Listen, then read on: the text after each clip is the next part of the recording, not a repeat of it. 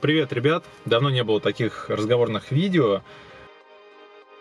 В этом видео я постараюсь, как по названию было понятно, объяснить, почему я собираюсь покупать новый Galaxy S8. И надеюсь, он именно так будет называться. Презентация его запланирована на 29 марта. И я уже полностью готов отдать свои деньги, чисто лично свои, за этот телефон. Многие, ну, постоянно, да, пишут, что Илья, вот ты предал Apple, ушел на Samsung, потом говорят, что Samsung фигня, а Apple хороший. Ребят, ну, я это делаю для того, чтобы записывать ролики, потому что, понятное дело, если человек смотрит минусы и недостатки Galaxy S8, такие ролики больше смотрятся. Это не означает, что, типа, этот телефон полное дерьмо, и я им не собираюсь пользоваться. Я им пользуюсь до сих пор.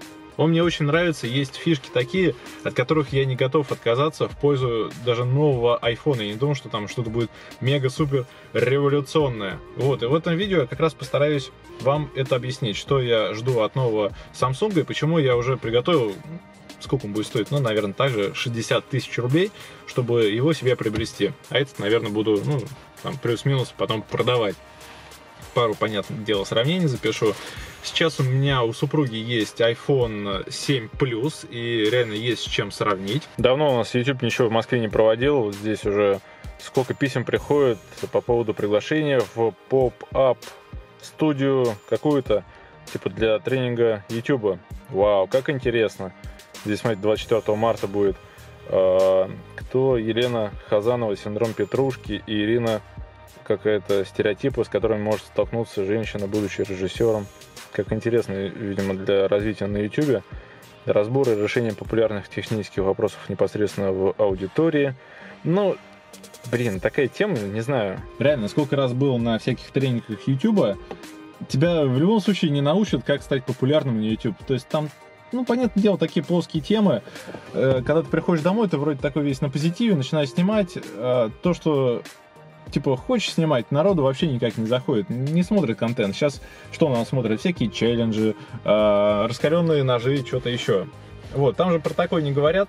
Да, возможно, тема хорошая, но, как показывает практика, с такими темами далеко не уедешь. Но если вы только начинаете свою карьеру на YouTube, так же, как и я, с 20 тысячами просмотров, то лучше сходите, будет, возможно, интересно. У меня такой влог в машине получился. А что я здесь сижу-то? Жду, когда у меня аккумулятор зарядится. На днях, видимо, когда поставил машину, получилось так, что забыл выключить габариты. Та-да-да-да! И в итоге полтора дня спустя пришел к мертвой тачке, которая даже не открывается сигналки, подумал, что что-то с сигналкой, оказалось, что аккумулятор, ну, вообще в нулину. Сейчас вот использую свой портативный на 50 тысяч мА, чтобы при помощи крокодилов, которые шли в комплекте, зарядить аккумулятор. Это продолжается уже 30-40 минут. Притом сейчас, когда зарядится, нужно куда-то поехать, чтобы он подзарядился как-то не, не очень удобно, когда у тебя планы все срываются, в принципе, из-за твоей тупости. Ну что ж такого интересного в Samsung, вот от чего я не готов отказаться в пользу того же самого iPhone. Я уже давно привык пользоваться, ну, как бы передовыми телефонами, то есть самыми новыми. Вы знаете мою любовь раньше к Apple, когда был у меня iMac, MacBook, до сих пор есть iPhone. Да, это было как-то круто, прикольно, когда это все стоило ну, не таких денег, потому что сейчас за iPhone отдавать 70 слишком косарей, ну, как-то, ну, за плюс. Как-то вообще жаба давят, еще как. Samsung то вот этот э, S7 Edge стоил 60, ну окей, скрипя зубами, купил.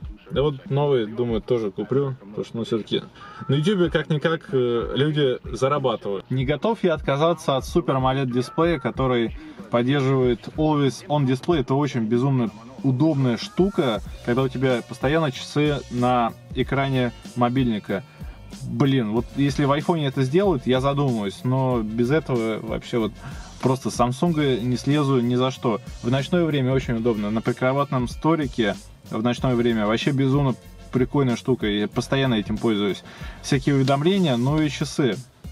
Просто мега фичи не готов от нее уйти, даже за такие деньги. Тем временем аккумулятор все равно еще не зарядился, все еще турынкает, так трррр, но уже близко-близко к делу.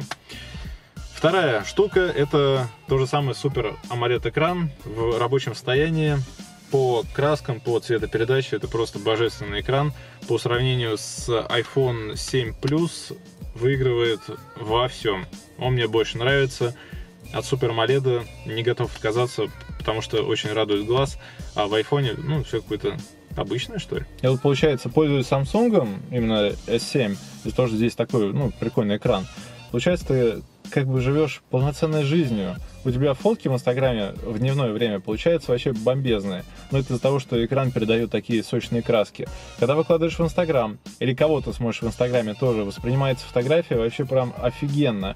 Но когда ты, например, фотографируешь на этот телефон, он здесь, фотография выглядит прикольно, загружаешь в Инстаграм, смотришь на айфоне, фотка выглядит уже не так интересно. Вот поэтому от такого дисплея я вообще не готов отказаться, потому что смотрю очень часто YouTube, смотрю фильмы, и вот по фото, ну, по видео прям вообще шикарная тема по просмотру. Я бы не сказал, что этот телефон записывает самое лучшее видео, либо самые лучшие фотографии. Еще, конечно, фишка связана с беспроводной зарядкой. Я думаю, что компания Apple в скором времени до этого дойдет все-таки, потому что это очень удобно. Это мега-супер удобно. Я купил себе беспроводной стенд, и в ночное время, ну, когда ложусь, раньше приходилось находить эту самую дырочку, чтобы поставить телефон на зарядку. Теперь такого нету. Я просто его ставлю, он у меня заряжается. Очень удобная тема. И вот как-то так, ребят, по чуть-чуть, по чуть-чуть. И получается, я сейчас уже готов купить именно Samsung, потому что я считаю, что он будет намного как-то опережать в каких-то фишках то же самый iPhone.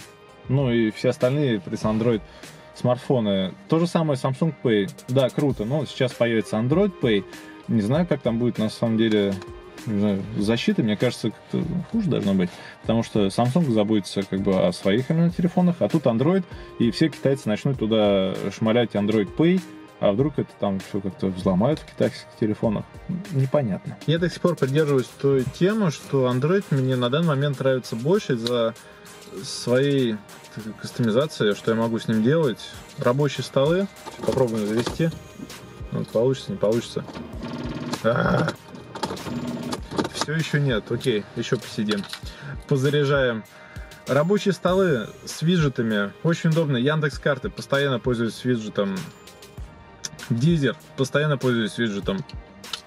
Э, этот, э, извините, заговариваюсь. Виджет почты. Постоянно. Виджет э, музыкального плеера. Да. В айфоне все было вроде на тот момент прикольно, ну, с моей точки зрения.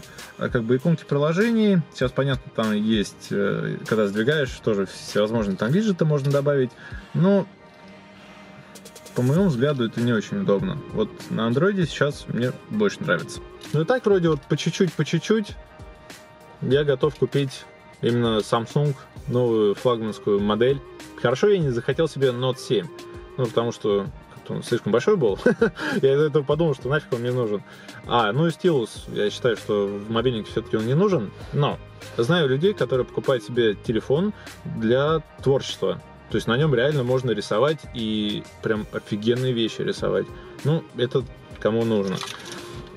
S7 Edge замечательный телефон то, что, возвращаясь к разговору, вы постоянно пишете, Илья, ты же там говорил, что Samsung говно, сейчас его нахваливаешь, и там про iPhone то же самое. Ну, вы сами видите, чем я пользуюсь. Вот, знаешь, мне нравится. Все, что я делаю, в принципе, для, ну, так вот, ролики популярные, плюсы, минусы Samsung. Понятно, если я его опускаю, но это сделано как для привлечения людей на контент. Ну, потому что на YouTube без этого никуда. Сейчас, если вообще не заморачиваться названиями, фотками и так далее, ну, кто это будет смотреть? У меня и так, видите, ситуация, а, когда выкладываешь обзор на какой-то... Обзор на носок. Понятное дело, посмотрит 20-30 тысяч человек, потому что мало кому интересен. Когда выкладываешь какое-то общее видео, или, к примеру, какие-то вот минусы, намного чаще смотрят. Ну и, конечно, ребята, очень выигрышное решение было у Samsung сделать телефон с поддержкой карт памяти. Кому нужно две симки, пожалуйста, кому нужно одна симка, одна карта памяти. Это прям вообще суперская идея. Поставил себе 256 гигабайт, и вообще можно не париться. В то время как ты покупаешь iPhone, переплачиваешь за эту память, какие-то бешеные просто деньги. Непонятно почему. Вот. Здесь, конечно, тема Samsung выигрывает. Но непонятно, что будет в новом телефоне. Это как было в S6. А, пожалуйста, карт памяти нету, в S7 мы ее вернули. Может, влагозащиты не будет. Ну, тоже посмотрим. Хотя, ну, карт памяти, наверное, все-таки будет решающий в моем выборе. Ладно, дайте мне знать, что вы думаете по поводу нового Samsung. Собираетесь ли вы его брать? Такой вот вопрос ограниченной аудитории. Знаю, есть э, много пользователей, скорее всего, Samsung. Хороший телефон, и iPhone хороший телефон. Просто так вот два лагеря получилось, разбились. Давайте пообсуждаем в комментариях. Мою точку зрения вы поняли. И собираюсь чисто за свои деньги взять его и потом о нем также рассказывать плюсы и минусы. Ладно, давайте. Пока.